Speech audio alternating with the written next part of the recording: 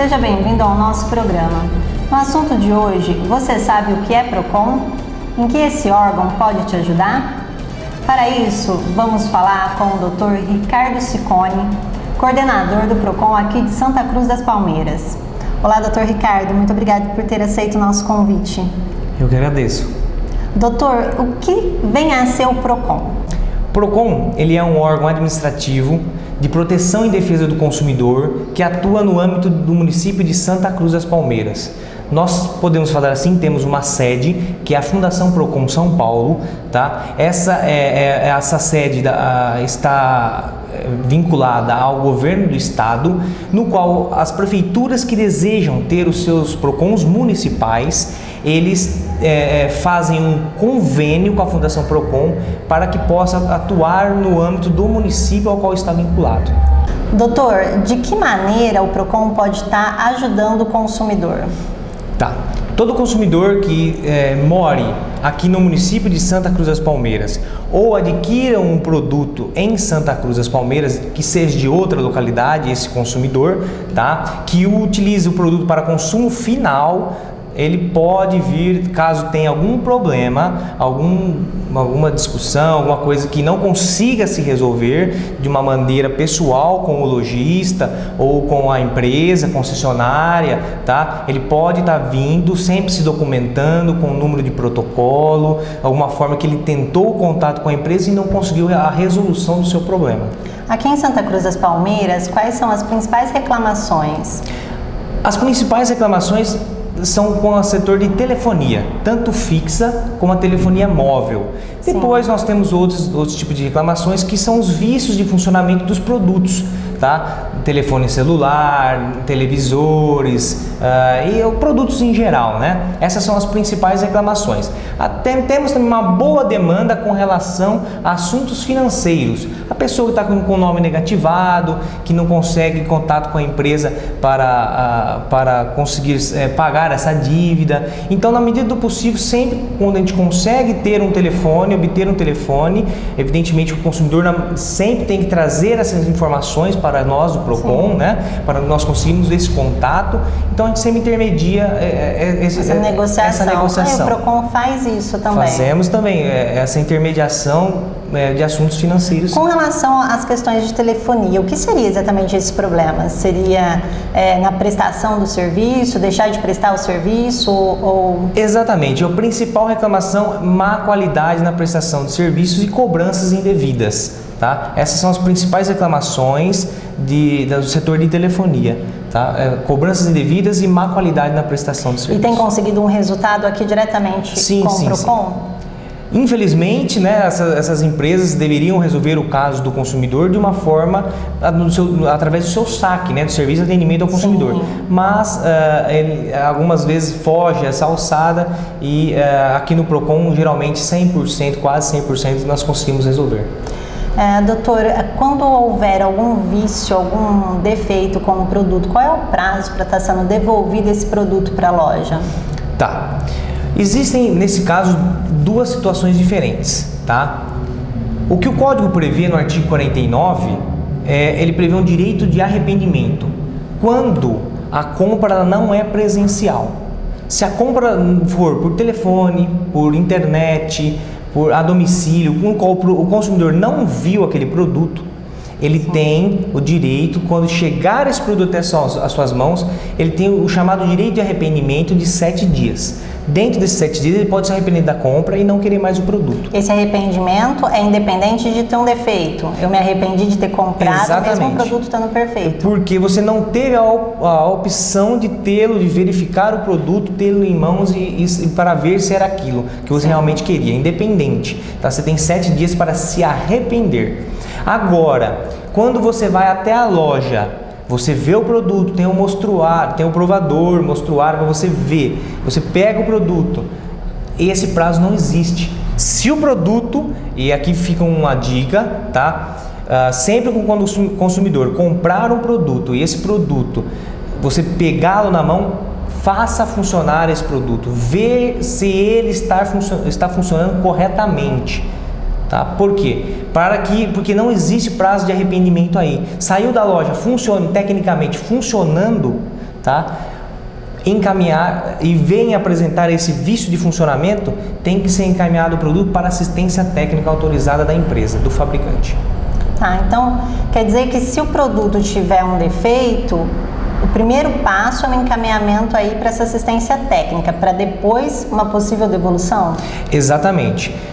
Evidentemente que se a pessoa não, não experimentou o produto por uma, uma pressa que não se recomenda isso, tá? É, se o produto já foi vendido com um vício de funcionamento já danificado, evidentemente que não se fala em encaminhar para assistência técnica. Sim. A empresa, o comerciante, o lojista, ele tem que efetuar essa troca de uma maneira imediata, tá? Uh, mas alguns acabam tendo uma objeção. Por isso fica a dica de sempre testar o produto antes de levar tá? Desembalá-lo, quando chegar na casa, desembala, faça o, o, o, entregador colocar na tomada, fazer funcionar para ver que está em perfeito estado, tá?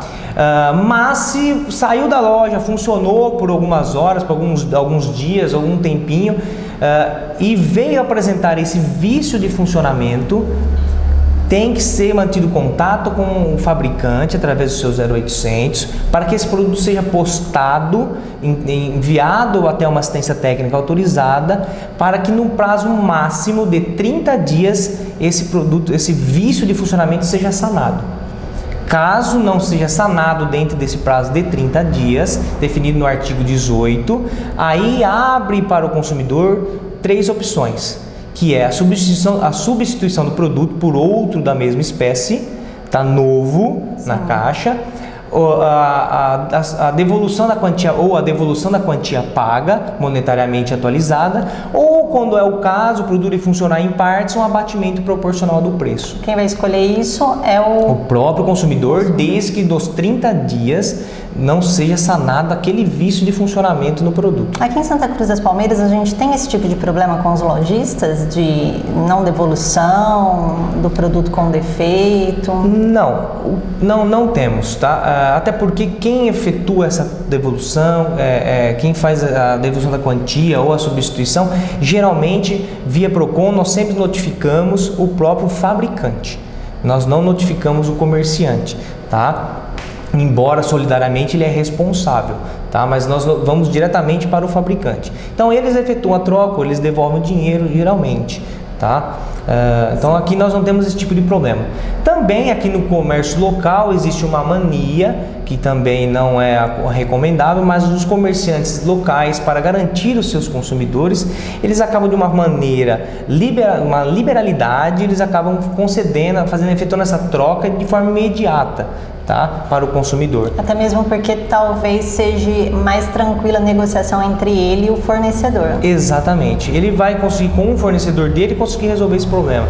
E ele resolve a situação do consumidor de forma direta, ali imediata. Do Mas dele. não é o que o Código de Defesa do Consumidor regula apresentou o vício de funcionamento no produto, o procedimento correto é encaminhamento para assistência técnica autorizada do fabricante.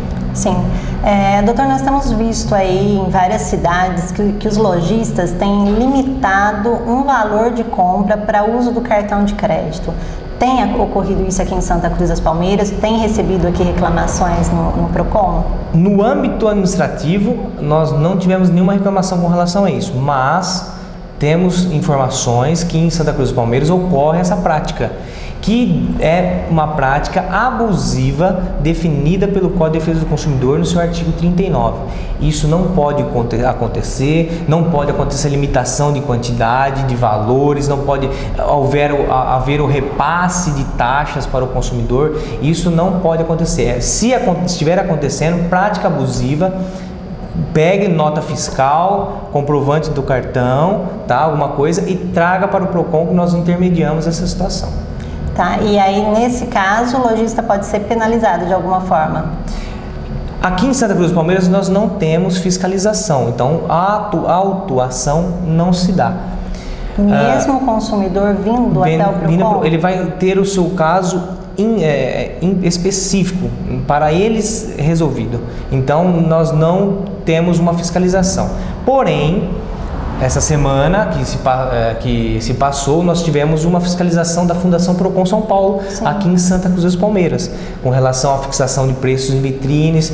E essa fiscalização ela pode estar ocorrendo de, de, eh, em qualquer momento, tá? E aí sim esses, esses, esses fornecedores, esses comerciantes, uhum. esses lojistas que estejam cometendo essa prática abusiva podem ser autuados. E o que seria necessário para se ter aí uma fiscalização de Santa Cruz das Palmeiras? Seria um novo convênio com a fundação, com já é um outro braço da Fundação Procon, que é o setor de fiscalização deles. Sim. Aí teria que ter um investimento por parte da prefeitura, do município, né, com mais funcionários, para que esses funcionários sejam treinados pela Fundação Procon São Paulo e possam estar fiscalizando no âmbito do município Poxa, de Santa Cruz. É, é, eu acredito eu que é importantíssimo, porque daí, ao invés do Procon estar tá solucionando um caso específico, isso seria solucionado já para o município todo. Exatamente. Como nós é, é, aqui nós temos até um caso que é, está tendo alguma repercussão agora. Nós tomamos uma medida, mas que não era fiscalizatória, tá? É, foi contra a empresa Claro para coibir exatamente esse número de reclamações que estava tendo no Procon. Tá? Nós provocamos o Ministério Público Local para que se instaurasse um inquérito civil. Esse inquérito civil tornou-se numa ação civil pública, no qual o juiz de direito da comarca concedeu uma liminar proibindo a empresa, agora no final do ano, a estar vendendo as suas mercadorias, tá? os seus produtos e os seus serviços. A empresa, claro, está proibida até apresentar um plano de expansão para que ela possa. Isso dentro do município de Santa Cruz das Palmeiras Isso, apenas. É, essa punição, a empresa Claro, ela somente uh, ocorre no município de Santa Cruz das Palmeiras, porque a ação foi proposta aqui no município de Santa Cruz. Tá joia. Doutor, é, o que, que, é, que a pessoa, o consumidor que for comprar e, e, se vê aí diante de uma situação qualquer, tá, pra, tá vindo aqui é, no PROCON, o que ele precisa trazer? Como formalizar essa queixa perante o PROCON? Tá. Sempre é fundamental a importância se documentar. Nota fiscal, se você está com problema com relação a serviço de concessão de telefonia, para o número de protocolos, todo tipo de contato que você tentou com a empresa, tá? Sempre se documente. O que nós precisamos é o que? É ter fundamentos para que nós possamos estar entrando em contato e exigindo o direito do consumidor. Então, se a pessoa compra um produto e não exige a nota fiscal, infelizmente nós não podemos é, é, atendê-los. Então, teria que ter nota fiscal, é, todo tipo de contato que a pessoa teve com a empresa para tentar sanar o seu problema. Porque, de uma, até para falar para os ouvintes, né, que uh, o PROCON, ele, a, a, pessoa, o consumidor, ele tem que ao mínimo tentar a solução do seu problema. Sim. O PROCON não pode agir uh, de forma imediata para esse consumidor, até por causa de uma falta de estrutura de recursos humanos hoje aqui em Santa Cruz. Tá? Mas é, sempre uh, uh, esse primeiro contato é sempre do consumidor. E sempre se documente, sempre anote com quem falou, o horário que falou, o dia que falou, o número do protocolo, para que nós possamos ter embasamento no pleito do consumidor. Tá. Então, resumindo, resumindo, tem que vir o próprio consumidor que está se sentindo lesado. Exato. Munido de todos os documentos pessoais. Perfeito. Né? E mais essa documentação que fundamente a situação que ele vai vir aqui apresentar. Sim, exatamente. Uh, é, é, fundamental a importância que o próprio consumidor venha até o PROCON, tá? com documento oficial com foto, porque muitos assuntos, que eu disse, é relacionado a assuntos financeiros e é, nós sabemos que por quebra de sigilo bancário nós não podemos atender outra pessoa. Então tem que ser o próprio consumidor com um documento oficial com foto e com o máximo de documento possível para que nós possamos ter uh, sucesso no êxito do consumidor. Doutor, e essa queixa se dá só pessoalmente ou pode ser feito via internet? É, como eu disse, hoje com a, a, a falta de, de, recursos humanos aqui na, na, na prefeitura, nós, nós estamos tendo esse problema, esse atendimento é só presencial. Nós não fazemos atendimento por telefone e também não fazemos atendimento via e-mail, tá? Então o atendimento é somente presencial. Tá, joia. Doutor, então para finalizar, é, deixa umas dicas para o consumidor agora nas compras de final de ano. Tá bom. Uh no, nesse, nesse final de ano nós sabemos que o comércio se é, cresce com as vendas, né? Então sempre, sempre, sempre exija o seu documento, que é o, o documento de propriedade do, do bem que está adquirindo, nota fiscal, tá? Ah, uma outra dica que nós deixamos aí, que como acontece muito essas vendas, é muito, acontece muitos presentes de final de ano, tá? É, o lojista, o comerciante, ele não está obrigado a trocar esse produto, tá? Para o, ah, eu não gostei da cor, eu não gostei do tamanho, não deu. O lojista ele só troca se estiver com vício de funcionamento. Se estiver com algum defeito, alguma falha ao produto, aí ele está obrigado a efetuar a troca. Do contrário, não. Tá? A pessoa ganhou o presente, ah, não gostei da cor e vai na loja. O lojista ele não tem a obrigatoriedade de efetuar essa troca. Ele faz uma gentileza. Uma gentileza para garantir o, o, a pessoa como uma possível futura consumidora dele, né?